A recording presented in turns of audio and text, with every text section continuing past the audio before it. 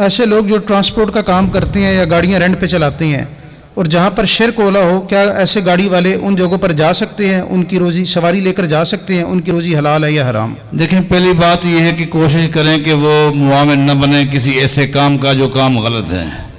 लेकिन उसका गाड़ी चलाना, उसका एक रूटीन है, आना जाना, लिहाजा वो इस चीज़ का मुकलफ नहीं है कि वो हर सवारी से पूछे, तू जहाँ उतरेगा, क्या करेगा?